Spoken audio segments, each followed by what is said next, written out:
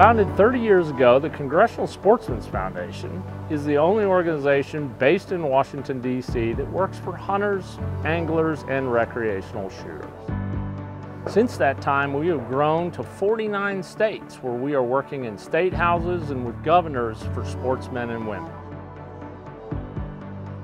The National Shooting Sports Foundation has been a supporter of the Congressional Sportsmen's Foundation for at least 15 years, working together to effectuate changes and push uh, legislation and regulation that benefits sportsmen and the industry and become sort of a force multiplier for each other.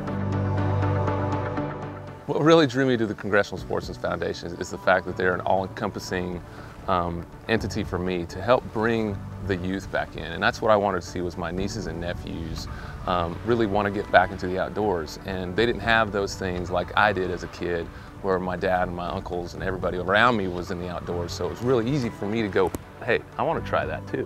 Where it's not so easy for them with everything that's going on these days. So Congressional Sportsmen's Foundation was a cool icebreaker for me for that.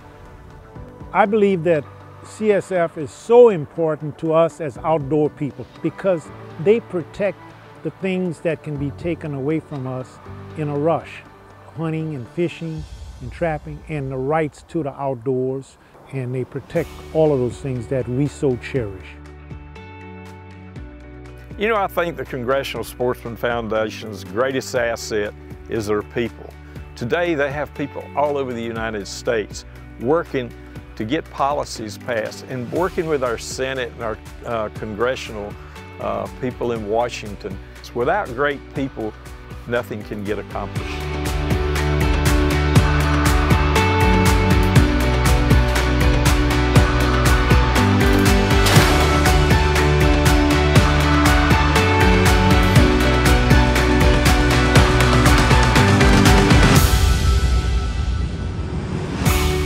The president of the Congressional Sportsmen's Foundation, this is a dream for me. We're a 501c3 nonprofit. We need your support. Whether it's through getting involved in the political arena or helping financially support the foundation, we are looking to the next generation and building this for the next 30 years.